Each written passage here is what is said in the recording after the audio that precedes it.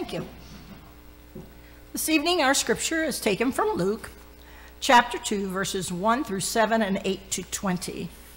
And the first seven are explaining about why, we, why the birth of Jesus took place where it was. In those days, Caesar Augustus issued a decree that a census should be taken of the entire Roman world.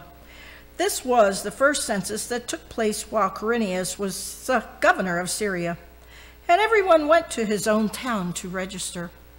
So Joseph also went up from the town of Nazareth in Galilee to Judea, to, to Bethlehem, the town of David, because he belonged to the house and line of David.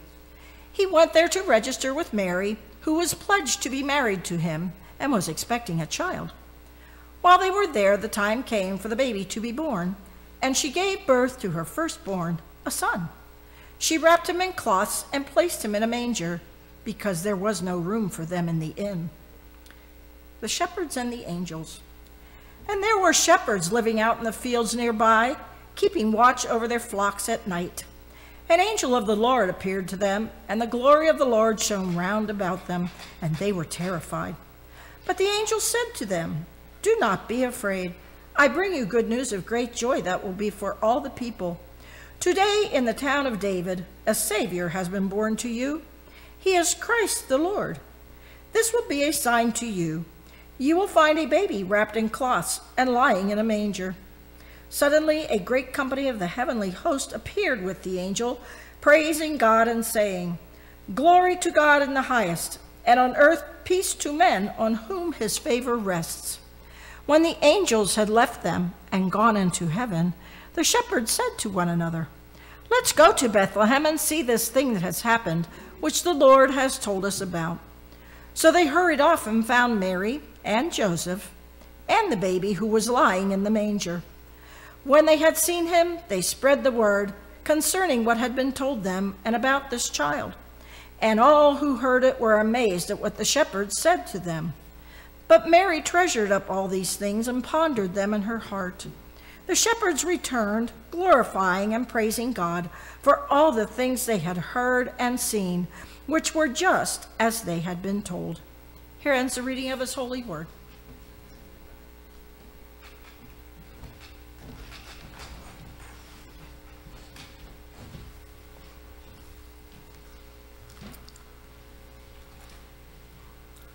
Throughout this season of Advent, we have had a series of sermons uh, discussing what the world tells us about hope, peace, joy, and love, and the difference between what the world uh, offers as definitions and expression of those ideas and how they differ from what God shows us to be hope, peace, joy, and love. And so this evening, as we celebrate the birth of our Savior Jesus Christ, I want to take some time to discuss what the world was like when Jesus was born into it and how it is more similar to our world today than you might think it is. Now, Jesus wasn't just born into Bethlehem randomly, right? Uh, he was born in Bethlehem to fulfill a prophecy. In the book of Micah, we are told, And you, Bethlehem, you being the least among the thousands of Judah, out of you he shall come forth. But how does this happen? How is it that he is, uh, his parents are driven to Bethlehem? Well, they are heading to Bethlehem uh, Mary and Joseph because of a great census that was being taken by the Roman Empire. See, the Roman Empire were the ones that were in charge of Israel at this time. And so the people were to return to the place of their birth or where they needed to go to be counted by the Romans. Have you ever stopped to wonder why the Romans would do this? Well, first we should establish at the time that Jesus was born, the Israelites had been in the promised land for over a thousand years. However, except for a brief period of about 80 years, they had not been rulers of this land for over 750 years. So at the time when Jesus was born, the land was being ruled by that powerful Roman Empire. And the reason that they called the Israelites to return to the place of their birth for this census was to get a more accurate count of them so that they could enforce taxes upon them. So Jesus is born into a world where the people that are in power, that are, are doing whatever they can to make the lives of his people miserable. They are holding them down with military might, and they are taking all that they can from them monetarily in order to fund their empire and to help keep them as subjects in line. Now, does this sound like a great world to be born into? No, it seems like a dark time in the history of the people of Israel, and it was. See, the Israelites were struggling.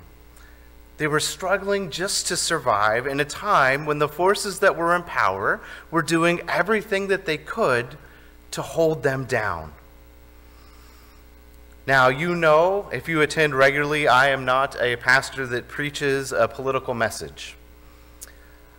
And that is not going to change this evening. But I think that we can look at the time Jesus was born and we can look at our world today and see similarities between the two. See, just as the Israelites were struggling in their time, we know that people in our time are struggling as well. We know that there are people in this world and people in our very own community that are struggling with the same problems of poverty and oppression that the people of Jesus' time were struggling with as well. So, what else was the world like when Jesus was born? Well, it was a violent world that he was born into. There were wars being waged around the world. Indeed, there were insurrections being waged inside of Israel by Israelites trying to overthrow the Roman Empire. That is why so many of the Israelites believed that when the Messiah was born, he would be some sort of mighty military leader, someone that would come and lead the armies of Israel and throw out their oppressors. If we need more evidence of just how violent a world Jesus was born into, we need look no further than the actions of Herod the king of the Israelites. See, when he heard that a Messiah had been born in Bethlehem, he had all the male children under age of two killed in that town, and it forced Jesus and Mary and Joseph to flee. Now, this also leads to the fulfillment of Scripture, but we can see how violent an act that was. But as we think about our world today, I believe that we can all agree that it can indeed be a violent world. We need look no further than the news each night to see the violence that is being carried out against people all around us, whether it be the wars that are being raged in foreign countries or just the acts of violence in our own communities that are being carried out. So, into this world of subjugation and violence, Jesus was born. And if you've been listening this evening and thought, wow, that sounds like a dark place for a child to be born into, you're absolutely right. It was a dark place for a child to be born into. It was a dark and dangerous world. And it is into this darkness that God chose to send the greatest light the world would ever know. So, why? Why send him into this dark world? Why not just start over again? Well, if people have gotten so bad and they have become so greedy and so violent, why not just destroy them all? Well, you know that God had promised not to do that again. But if we look through the history of the Bible, we will see that each and every time people have run this way away from Him, it is God's love that has saved people. It has happened from the beginning when He chose to save Adam and Eve instead of destroying them. It happens with them at this time when He sends Jesus to save them instead of destroying them. And it happens for us today when we choose Jesus and he chooses not to simply destroy us. So God chose to send a bright light into the darkness so that we could have a way out of the darkness. You know, I think the quote from Martin Luther King Jr. describes this best because he said, Darkness cannot drive out darkness, only light can do that. And hate cannot drive out hate, only love can do that. So that is why God chose to send Jesus at a time when the world seemed to be plunged into darkness. Because only light can drive out darkness. What does it mean for us today then? Well, I think we've established the world we live in can be very dark as well. We see violence and we see oppression and we see hatred in our world today. Does that mean that we simply give up? Does it mean that we join in the ways of the world and make it an even more dark place than it already is? Well, I hope and pray that the answer in your heart is no. No, we do not make this world darker. So then, what is it that we can do to bring light back into this world? Well, there are two things I believe that can happen that can bring light back into this world. Now, the first is that Jesus comes back into this world. We know that He's promised us that He will return, and in that moment, darkness in this world will be no more. And you may think to yourself, all right, Pastor, I got it. I'm going to sit back and wait for Jesus to come. Thank you very much. Merry Christmas, and I'll see you next week. Well, not so fast. I said there are two reasons, right? That is the first reason. The second thing that we can do is this we can work to bring the light of Jesus to others in this world. You see, as his followers, I believe that is what we are called to do.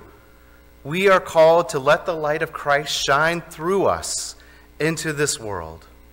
And we do this by living in the way that he has called us to live and we do this by going to those that are living in darkness in this world and helping the light of Christ grow in their lives as well. See, I don't believe that we are just to sit back and wait. I believe that we are to be doing all that we can to bring His light to others. As I thought about it, I believed that this is truly a simple thing to do.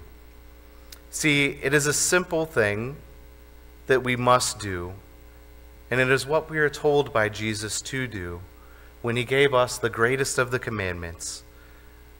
We are to love God with all our heart, all our mind, and all our soul, and we are to love our neighbors.